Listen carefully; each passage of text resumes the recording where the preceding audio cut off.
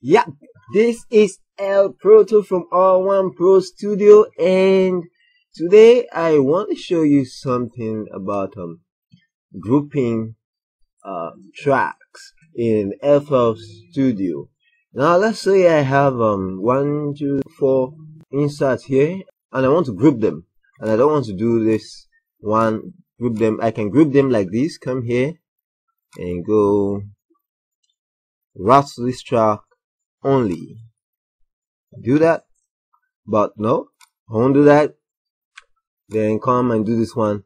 A simple way to group them is to click Control, left click and drag.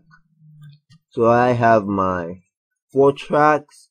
I go to the insert. I want to use let's say five and go route to this track only. Let me add a separator here to track 5. So, let me add another separator here.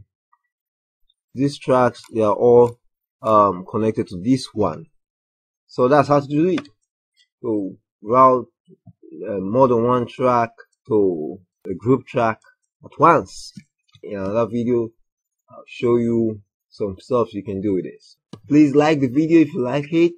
Leave your comment, kind of videos you want me to do. And um, subscribe to this channel.